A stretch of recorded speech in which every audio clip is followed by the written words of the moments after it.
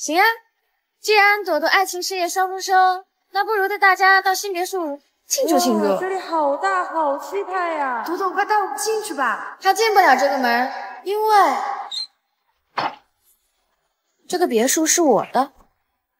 怎么回事？这别墅不是朵朵的吗？怎么成米卡的了？哦，我知道了，之前米卡在这里兼职呢。你看他发的朋友圈。我说嘛，怎么这么熟悉？原来一个兼职的，还真把自己当主人了。哎，你们，宝贝，快带我们进去参观一下吧。起开！哦，小姐好像遇到了点麻烦。走，去看看。哇，朵朵，这里好大，好气派呀！哇，朵朵，好羡慕你呀，真的好宽敞漂亮啊！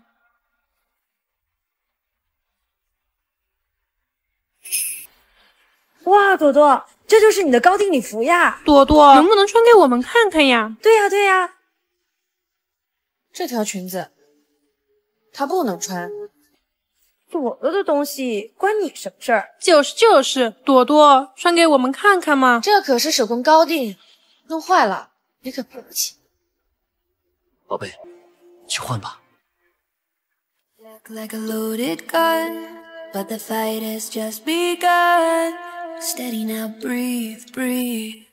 哇，真好看，好漂亮呀！果然是身材和气质一流啊。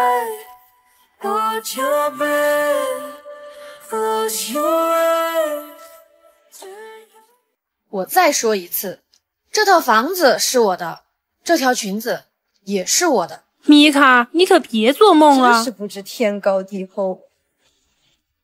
米卡，我知道你还放不下周周，今天的事情呢，我就不跟你计较了。这套房子如果你喜欢，我可以邀请你住进。哼。哦，对了，我跟周周就快要扯这儿了。明天晚上的婚前派对，我邀请你们来。要结婚了呀，米卡你也来吧，既然同事一场。明天晚上？是啊，周周已经迫不及待了，一天都不留。不好意思，我没空参加你这种人渣的婚前派对。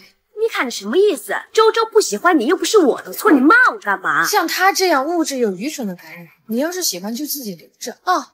我劝你结了婚之后就好好守着，免得像他这种劣质产品不市场。米卡。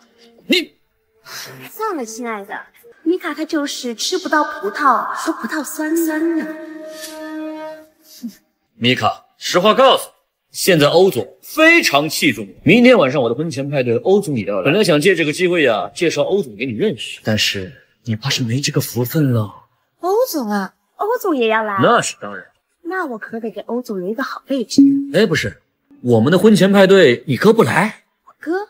我从来都没有哥哥呀，而且这跟欧总有什么关系啊？你，你不是说你是欧总的妹妹吗？哦，你骗我，你这是骗婚，你知道吗？哎，我从来都没有说过我是欧总的妹妹呀。我怎么回事？朵朵不是欧总的妹妹吗？对呀，我也不知道怎么回事，难道一直在骗我们？天哪，真是太可怕了，细思极恐啊！朵朵怎么是这种人？我怎么不知道？